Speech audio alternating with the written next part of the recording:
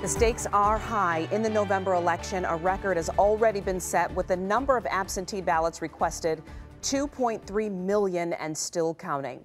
That's almost one third of registered voters. And while Michigan doesn't technically have early voting, you can vote starting Thursday at your local clerk's office. Jim Kiertzner is live in Oakland County and Waterford Township with everything you need to know and breaking it all down for us. Jim? Yeah, this record certainly because of all of the hot races on the ballot from the president on down, and also because of COVID 19 safety concerns. We're on track to have record number of people voting, record number of people voting by mail, uh, and of course, in the midst of this pandemic, we want to keep everyone safe and healthy and spread out. As of yesterday, the number of absentee ballots requested 2.39 million. That's with 7.7 million registered voters statewide.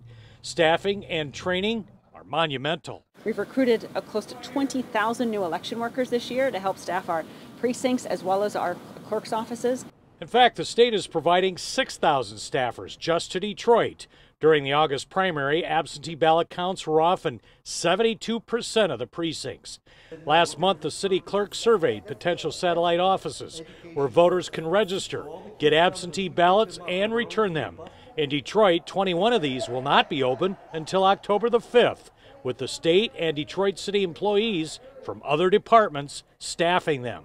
Well, we wanted to open them sooner, but it, it, comes down to recruiting a number of people, and also it's 21 offices. It's an extraordinary number. Across the state, you can start voting Thursday at your local clerk's office. Statewide, many will be opening satellite offices.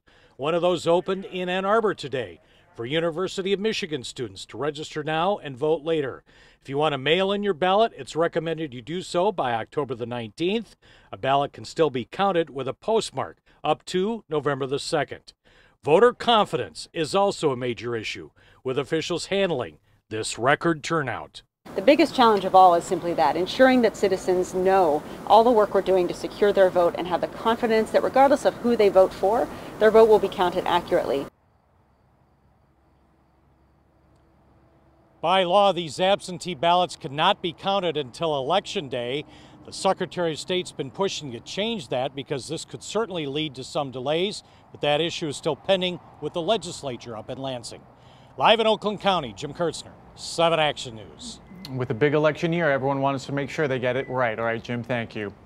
And we are dedicated to preparing you for Election Day. Be sure to visit WXYZ.com slash vote 2020. It's a resource guide with everything you need to know before heading to the polls, including links to sample ballot and absentee ballot request forms.